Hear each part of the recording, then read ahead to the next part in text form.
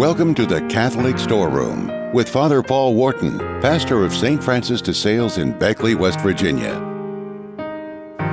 St. Francis de Sales is another of those saints whose words and examples continue to touch people today. He preferred to use gentle persuasion, gifted preaching, and spiritual direction as a bishop in the early 17th century dealing with the Reformation. He wrote the introduction to the devout life, especially for lay people. No matter how busy he might be, he provided spiritual direction, most notably to Saint Jane Frances de Chantal.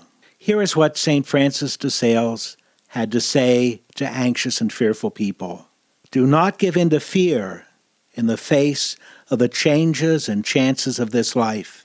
Rather, as they arise, look at them with full trust in God, to whom you belong, who will enable you, through his powerful love, to profit from them. God has guided you thus far in life, so hold fast to his dear hand, and he will lead you safely through every trial.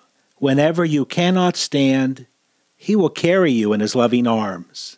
And do not be anxious about what may happen tomorrow. The same eternal Father who takes care of you today will take care of you tomorrow and every day of your life. He will either shield you from suffering or give you unfailing strength to bear it. Be at peace then, and put aside all useless thoughts, all vain dreads, and all anxious imaginations. The Catholic Storeroom 2,000 Years of Wisdom and Insights. For your free transcript of today's message, please email info at CatholicStoreroom.com.